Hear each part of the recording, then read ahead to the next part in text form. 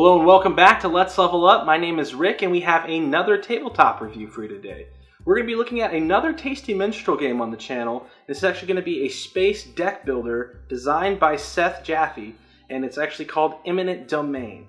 Now this is going to play uh, in about 45 minutes. Our first playthrough was with two people and we played it in about uh, 30 or so.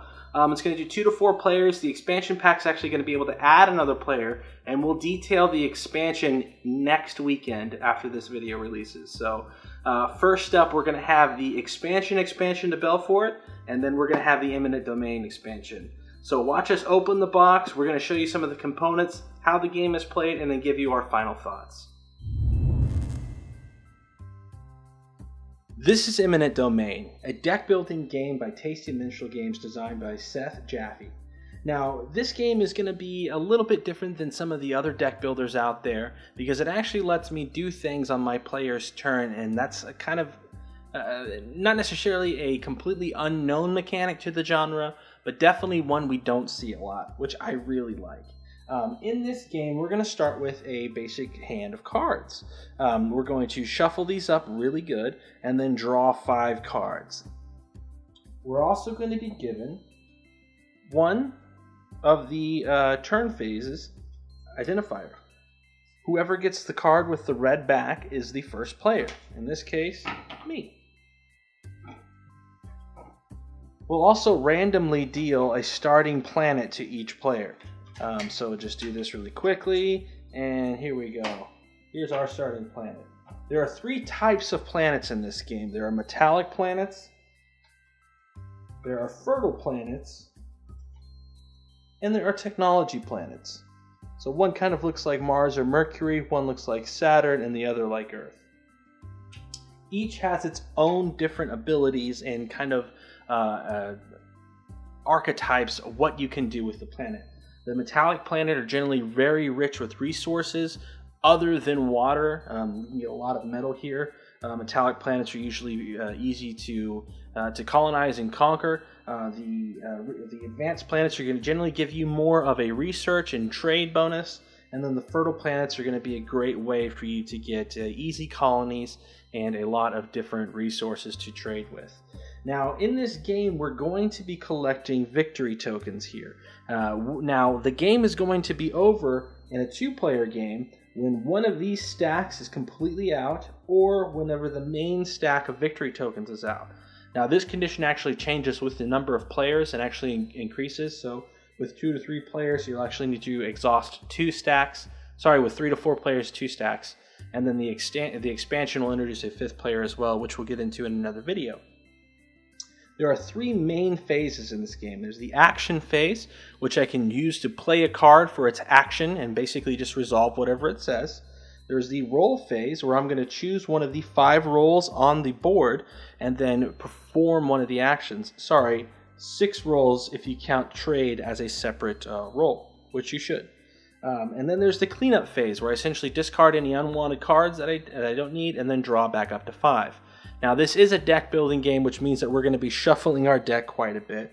But let's take a look at each one of the different role cards independently from one another and then discuss how the game is going to be played. The first role card we look at here is Survey. Now, Survey's action ability, and again, I can do this as an optional phase on my turn where I get to play a card for its action. So when I play it, I set it on the table, it resolves, and then immediately gets discarded. In this case, it'll let me draw two cards. Now, if I choose this during my role phase, I get to look at the planet stack, and I get minus one planet cards for each survey I have here. If I was the one who initiated this role, meaning if it was my turn, I am technically the leader, and the leader lets me get one additional card. Um, sorry, one additional planet to look at. So essentially, you're going to use the survey ability to look at our planet stack and then get more planets here in our empire. The more planets we have here, the more planets we have the possibility to take over or colonize, and that equals big victory points. The next actions are produce and trade. Sometimes planets are going to have a symbol here that's represented by a color. For instance, fertile planets will either have wheat or water. Uh, metallic planets have metal. Technology planets sometimes have gases and whatnot. Um, we can actually produce those resources here, and then trade lets us actually trade those resources for victory tokens. Again, a good way to score throughout the game. The research action actually allows us to uh, discard two cards from our hand. So again, get rid of the sluff that we don't want. Or if we choose it as a role, we can actually calculate all of these different research cards that we're going to have and buy one of the three major technology upgrades depending on the number of planets that we have. And we'll get into that a little bit more later. Colonize is one of the primary actions that you're going to do in this game. Planets always start with their face down. Um, so essentially, you're going to see the back of this card here for every planet that you have. And the planets are going to have two different identifiers on the back. Or, sorry, one identifier telling you the type of the planet and then the cost for warfare or the cost for colonization. When you colonize a planet, you'll take any number of colonized cards that you have and place them underneath the planet that you're colonizing. Once you have colonies that are equal to the number of or the value on the planet card, such as this here too, you'll actually be able to settle that planet on your turn, either for an action to settle, excuse me, to settle one planet, or um, during your role phase. So this planet here is going to give me two victory points when it's revealed, and it's going to allow me to uh, get the resource of metal. So this is a pretty powerful planet early on. The last card we're going to look at here, sorry, the second to the last card we're going to look at is the Warfare card, designated by the crosshair symbol. This actually allows us to get one plane or one fighter, which are represented by these little icons here, and they come in all different sizes, which are really nice. They're kind of fun. Um, these fighters can be used to attack planets, uh, depending on what the role is that you're picking. And uh, you'll either be able to get more fighters or attack planets. If you attack a planet, if you have more fighters or equal to the number of fighters on the planet, you'll be able to take over that planet. And again, flip it over to its face up side and then uh, start using that to gain points. Uh, the last card, which you'll start off with, every player will start off with, is just an action card, and it's the politics card. It says remove this card from the game and take any one role card from the stacks and put it into your hand. So this is a good way for you to basically set off what it is that you're trying to do. Now this is going to be a deck building game that really emphasizes synergy. You're not going to want to go over all the actions. If you go warfare, stick to warfare if you can. Um, if you go colonize, stick to the colonized cards because you're going to be able to maximize your potential points depending on that. You're also going to want to make sure you use your research cards throughout the game to be able to get rid of the cards that you don't need. Again, if I'm going warfare, I want to take these colonized cards, I want to get them out of my hand because I'm generally not going to need them. One thing you're going to notice is that in the planet deck, it's usually a lot cheaper to get the colonies up than it is the planes, or sorry, the warfare. However, it's not the case here for this planet. Um, However, fighters can basically sit in a bay outside of it, um, and colonized cards have to be committed to a planet.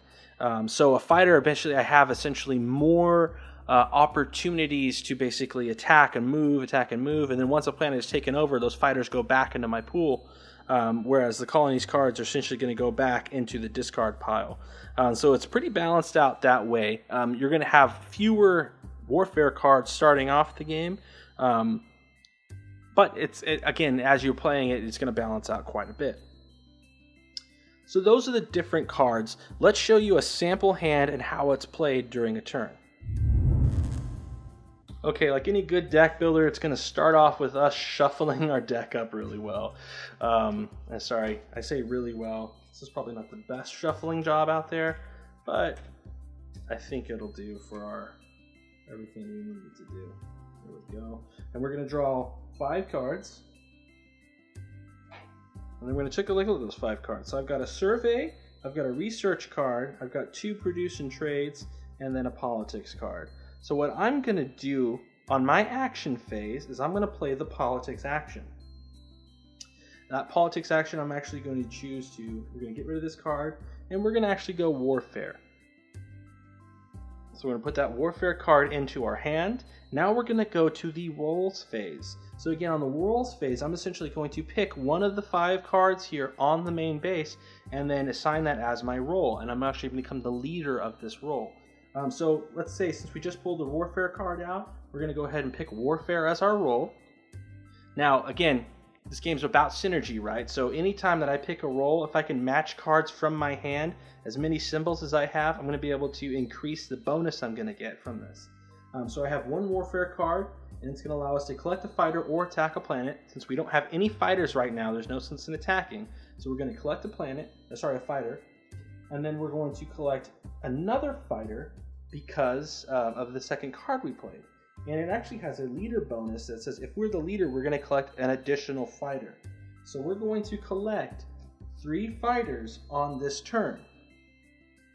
Just like that. You're actually probably not going to be able to see them on, well, maybe, on the actual camera, but there they are.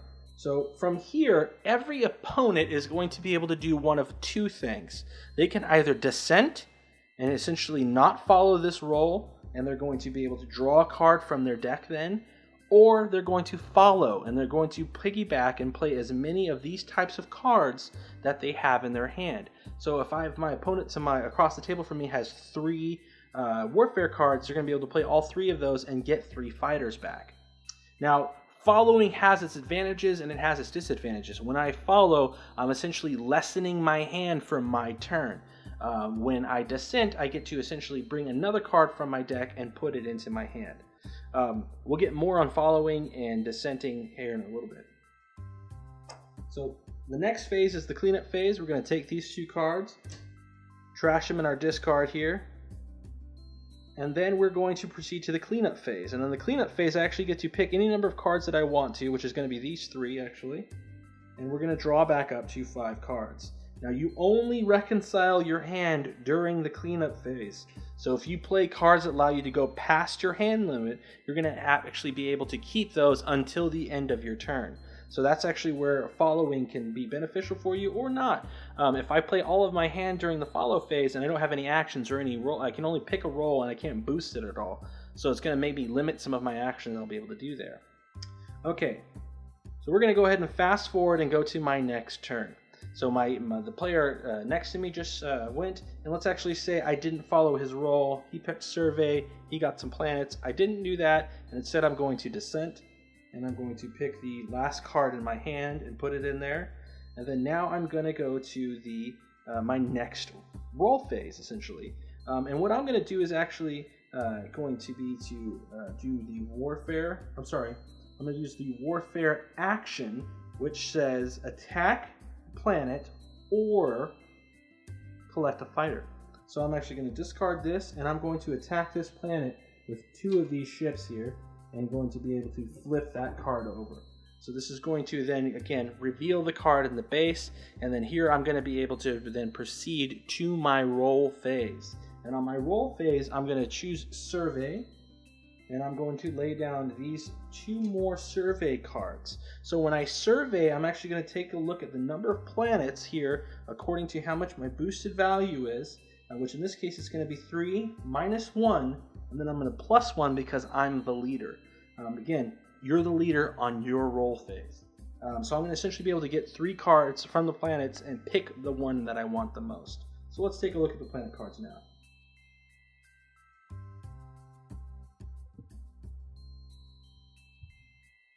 So here we go. One, two, three. We'll put the rest back here. And then we'll see here. Now we've got one metallic planet out already. Um, this planet actually has a survey marker here.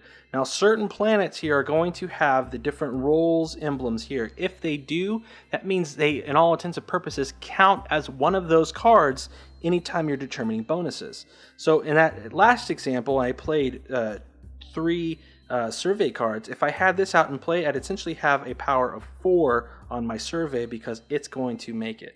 Remember, all planets are played face down, and you're not going to be able to flip this over until you meet either the warfare or the cost to colonize it.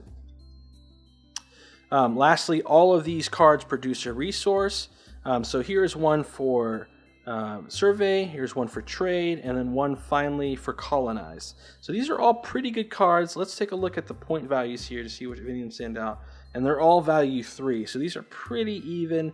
Uh, since I already have a metallic planet, I'm going to go ahead and choose this one, and I'll put it down in my empire just like that. So it's going to remain there until I have the ability to either take it over or colonize it. The other two cards that we don't pick are actually going to be discarded in the planet discard pile. Quick correction, when I attacked this planet here, these these fighters aren't going to remain in my bay. They're actually going to go back to the supply, so it's going to make sure that I can't just overwhelm my opponents so quickly with just being able to focus on warfare. So now I have one fighter in my supply. I have a, a discard pile that I'm going to need to shuffle in order to get uh, the rest of my hand up. So you get kind of a general idea of how the game is played from just those sample couple of turns. There's one thing we really haven't talked about yet, and that's the advanced technology cards. Now, all of these are going to focus kind of in the same thing, and they're based upon the three different planets. We have a stack for fertile planets, we have a stack for the uh, metal planet, metallic planets, and then one for the advanced planets. Now, depending on the number of planets I have and the number of research I play, I could potentially buy additional technologies, uh, basically advanced cards to go into my hand. Let's take a look at some of the metallic technologies.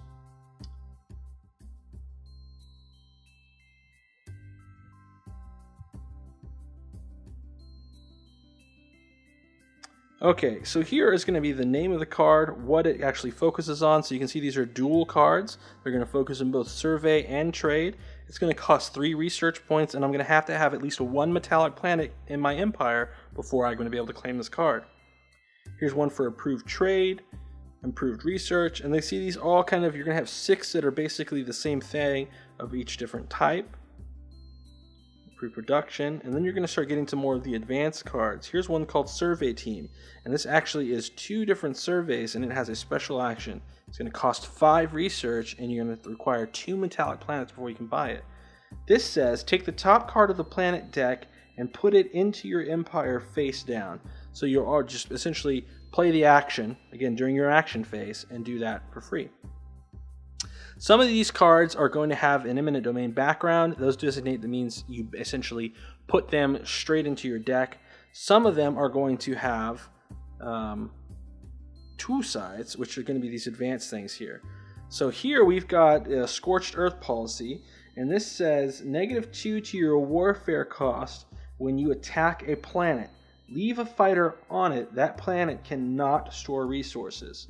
And it's going to um, essentially you put this face up in your empire it's actually going to cost a or actually generate uh, a number of victory points for you and it has a backside. So you pick one side or the other. Uh, this card actually is really cool. It counts for a survey a trade or and a warfare all at once. Um, so you get to pick one of the roles and get all three of those. Um, so very cool imperialism here allows you to uh, kind of hedge your bets into different areas and then the big card here requires three metallic planets, seven research. This says you may play an additional card it, um, for its action effect during your action phase. So productivity, you get two actions that you can play, and then the back side of it says logistics. And again, same cost, same number of uh, planets required. And this says play the action and roll phases of your turn in any order at the end of the game take an additional turn. So once one of these once one of these decks is going to be um, dis, uh, diminished or ran out, uh, sorry, run out of it rather, or you run out of victory tokens, you're going to be able to. Um, the game is essentially over, and all players are going to get an equal number of turns unless you have logistics out, and then you'll get one additional turn more than everybody else. Pretty powerful card there.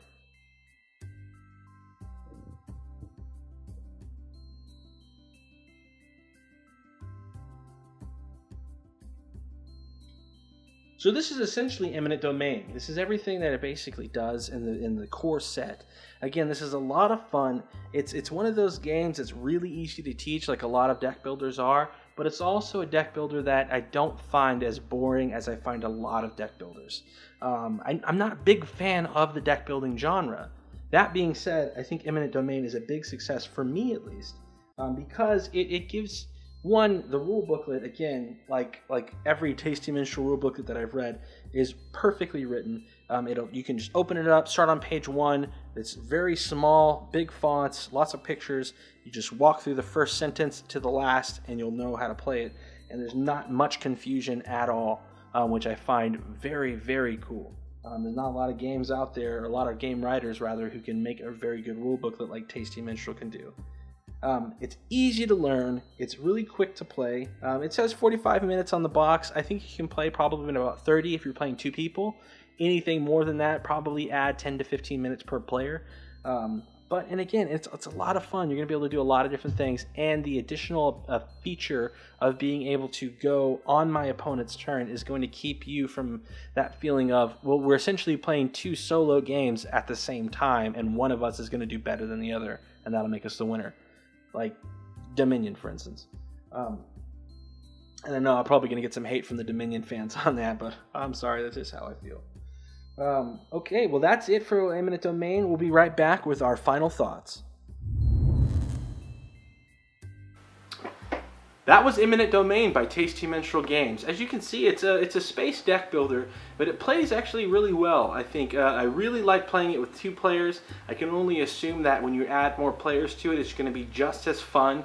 With the ability to follow or dissent on every player's role phase, it's going to really add for quite an interesting turn of events.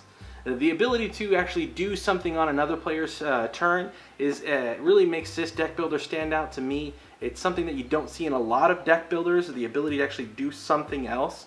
Um, a lot of people describe deck builders as essentially uh, multiplayer solitaire. It's essentially I'm playing my cards over and over and over again, you're playing your cards, and we never really interact. With Eminent Domain, it bridges that gap just a little bit and uh, I really like the theme. I think Tasty Minstrel has designed another great rule book. I strongly recommend if you're into deck building games, check out Eminent Domain. Thank you so much for watching. As always, give this a thumbs up if you liked it, subscribe if you haven't, and mostly, game on.